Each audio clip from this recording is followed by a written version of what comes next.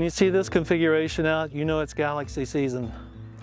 This is my astrophysics. This is the longest focal length I can achieve with a Barlow on the Astrophysics 130 EDF Gran Turismo.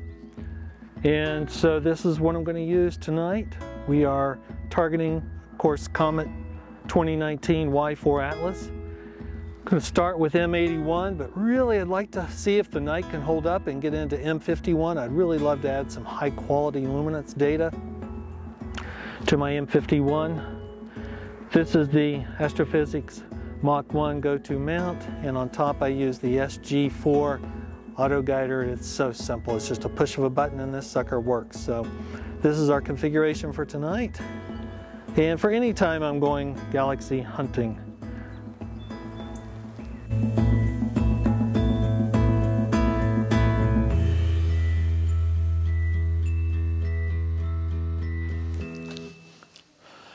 Hi everyone and welcome back to the channel and thank you so much to all the new subscribers we've had on the channel. It's been pretty overwhelming and many of you came into the channel through the Comet 2019 Y4 Atlas and it's had a nice run but unfortunately I have an update for you if you haven't seen the news and that is the comet has fragmented. The nucleus has broken apart and this is somewhat common for this type of comet as it gets closer to the sun and heats up.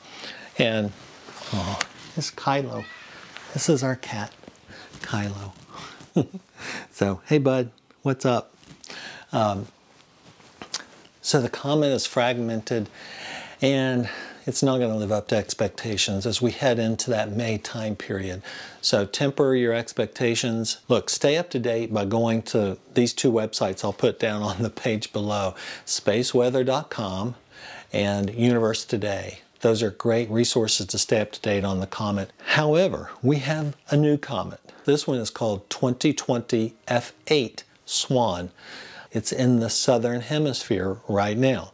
So it's not available to us in the northern hemisphere. But for you in the southern hemisphere, enjoy Comet 2020 F8 Swan.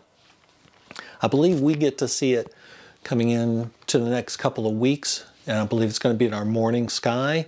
And we're again looking at that time frame of that May 15th.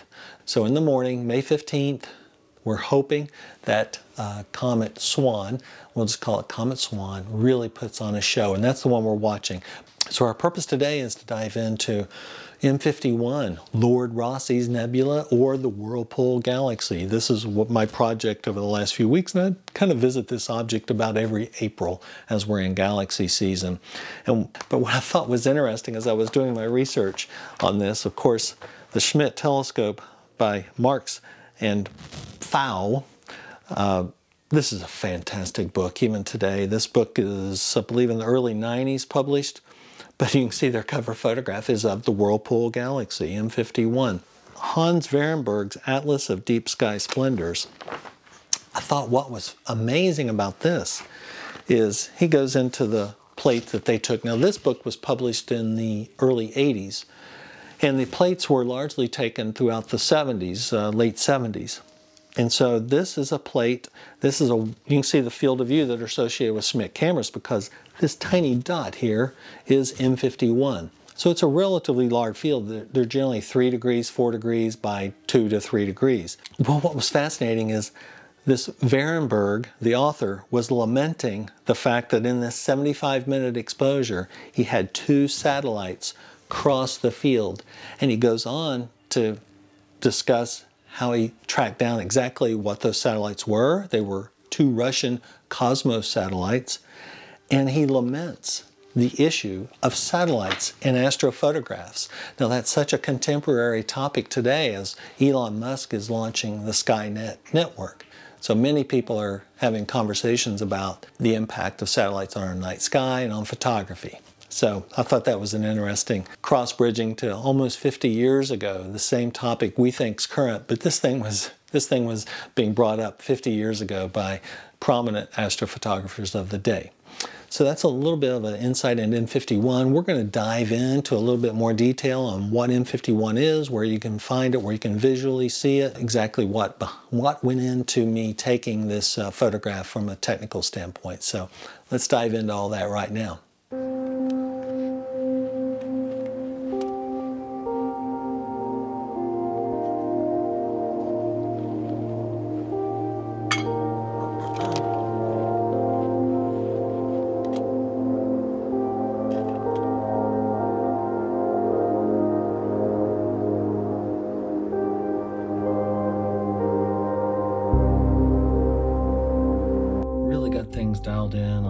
Imaging M51 and this is again that hydrogen alpha centered um, line that we're working on and pretty happy with what we're getting here in raw footage. Everything in difficulty goes up when you increase focal length and exposure times. This is a 15 minute exposure. I'm going in sets of four I've done a gain of 150. and see my temperature. Okay, let's take a look at some of the data that we gathered. It's been probably over a month here, just as sporadic night skies cooperate, clear night skies cooperate. And the first data I really gathered actually was a year ago. And this is with the light pollution filter uh, last year. I believe this was probably around two and a half hours of exposure time. And you can see it has a little bit of a, it accentuates the blues a fair amount, but it really does a nice job on galaxies. It gives you a little bit more of a natural contrast. Then this year, I added a lot of new data. This was unfiltered and about three hours worth of data, really nice and clean. If you go in here to 100%, uh, you can see that the data looks really good. That's pretty clean. And uh, just have to take care of the hot core and work on some color, but that's a, that's a pretty nice set of data there. Then I also, over the last couple of weeks, added some hydrogen alpha. Now you got to remember, this is an F12 system, so it's really slow. So I use my STC filter to gather the hydrogen alpha. Of course, there's some uh, O3 being gathered with that as well. M51 has these great hydrogen alpha sections you can see here that just pop out with the uh, STC narrow, dual narrowband filter. So that's really nice data to add as a complement to the total. So then in PixInsight, I went into this NR, uh, NB-RGB combination, narrowband, red, uh, blue, green combination. And you can see here, it just really accentuates the data. Uh, the hydrogen alpha sections really start to pop out in the, uh, the core of the galaxy. That's really a nice option to blend in that hydrogen alpha. And so this is the final image that comes about from combining all of those. So this is my M51 for 2020. I don't think I'm going to add any more data to it. I really favor Jim Misti image that's in my Sky Safari app that I think is really well color balanced. It's blue stars. These are these are really new young uh, blue stars in this area here. So I don't like to oversaturate it. I think for a what is like a native um, six, 700 millimeter focal length refractor with a Barlow lens on the on the end of it to take it to f12 and 1500 millimeter focal length. I'm really happy with this and I don't really use decon deconvolution. I just use Smart Sharp in Photoshop to apply some sharpening here into the core of the Galaxy. Uh, I really need to get better with deconvolution, but this is my M51 for this year, and if you go to um, the AstroBin page, you can see here it does some astrometry for us. And this galaxy up here is called IC 4278. And the galaxy that seems to be interacting with M51 or the Whirlpool galaxy, but it's just nearby, it has interacted with it. That is NGC 5195. So that does a nice job on the astrometry. So that's kind of the image processing behind it and how things came together on my M51 for April of uh, 2020.